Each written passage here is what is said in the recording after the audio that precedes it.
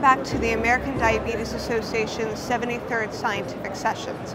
I'm Anna Baker here in Chicago with Dr. Christoph Buettner of the Icahn School of Medicine at Mount Sinai in New York City.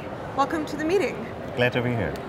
Now, uh, you are a recipient of a career development research grant from the association. How has that affected your career? It really gave a big boost and it provides critical support for diabetes research. And since the NIH has to cut, because of budget reasons, funding, this is critical. Uh, we're glad that it was of assistance to you.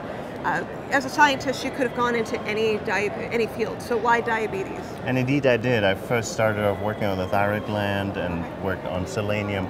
But then, as a clinician, I realized that diabetes is just such an overwhelming problem. If your dad or your grandfather eventually get a heart attack, then often the reason is diabetes. So I, I changed fields because I also feel that the opportunity for discoveries in diabetes are, are exciting, are really great. So let's talk a little bit about your work. Tell me about your work in the role of the brain in uh, regulating metabolism. That sounds really interesting. Yeah, so um, I, I, guess over the last two decades, it's been um, more and more appreciated that the brain plays an important role in controlling your blood sugar, in regulating metabolism in the liver, in regulating metabolism in adipose tissue. And so we're trying to understand how this happens and what the role of hormones such as insulin and leptin working in the brain are in controlling uh, these pathways. Okay.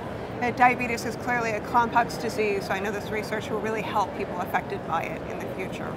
Uh, I think it already does in the sense that um, uh, diseases such as shift, or it's not a disease, but shift work, for example, messes up this brain control of metabolism and just understanding that the brain, uh, that stress really affects these brain pathways uh, uh, and that as a diabetic you really need to live a balanced life, you know, being in harmony with your surrounding is, is really important.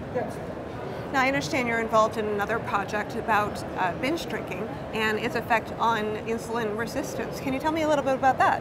Yeah, so, so there is an epidemiological association between binge drinking and diabetes. So, in other words, if you, as a college student, just have a history of uh, binge drinking, meaning you drink four or five drinks on a weekend and otherwise you don't really drink much, that already is sufficient to cause diabetes, or to, to have, give you a history of increased uh, likelihood of developing diabetes. And so wow. we then tested in animals whether the binge drinking does that or whether, for example, an alteration in food intake does that. And it turns okay. out that the alcohol causes inflammation in the hypothalamus.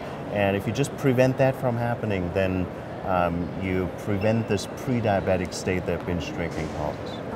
Well, that's really useful work. Thank you for everything that you do to help us stop diabetes and have a great time in Chicago. I will. Thank you.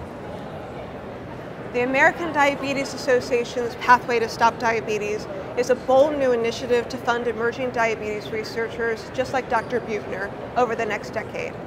Pathway to Stop Diabetes will provide crucial support to researchers focusing on innovative ideas and approaches to diabetes so that we can ultimately end this deadly epidemic. We're currently accepting nominations for the first round of awards through August 16, 2013. Learn more at diabetes.org slash pathway.